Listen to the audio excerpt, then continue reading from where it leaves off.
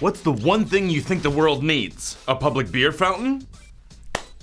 Your wish is granted. Hey everybody, I'm Patrick Jones for Buzz60. Slovenia is known for its hops that are nicknamed green gold. They know people like their craft beers, and they're gonna take a shot at trying to rake in some of that tourist money. A town in the European country just voted to spend 400 grand to create a public beer fountain. People could step up to the plate and pay 6.75 for 10 ounces, where all the choices will be local beers. It's a tourist attraction, of course, but I have to say, being a New Yorker, you could do a lot worse. Like Times Square, which is American for penned up like cattle as neon lights try to blind you. Also, let's keep in mind this is Slovenia, not Miami. The average temperature for February is 41 degrees. I mean, that's not Siberia, but if there are no heaters, people will take their drinking indoors. There's gotta be a lot of people in the US interested in how this works out. How do the people who run tourist attractions like the largest ball of yarn, the largest grandfather clock, or the world's largest thermometer get more visitors? Beer fountains.